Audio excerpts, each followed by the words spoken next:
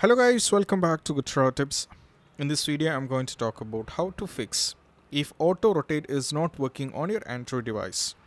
So first thing what you have to do is when you're having this issue, you have to go to the notification bar and you have to check whether the auto rotate is enabled or disabled. As you can see that in mine it is completely, it is not been on, I mean it is disabled.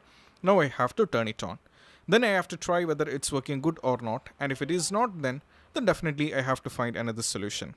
So another solution is in some cases, most probably, the notification uh, on the notification bar, you will not be getting the option, the auto rotate.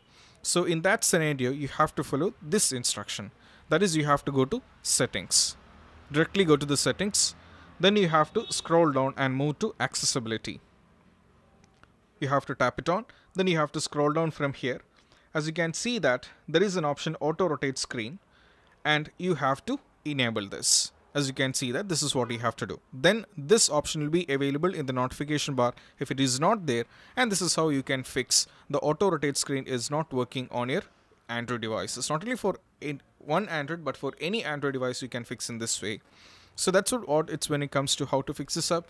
And this is Shahin officially signing off from GetDroidTips. So guys, that's all about when it comes to how to fix the auto rotate is not working on any Android devices and if you find this video helpful don't forget to subscribe and click on the bell icon for more notifications and this is Shahin officially signing off from GetDroidTips. Keep practice social distance, be safe and stay safe.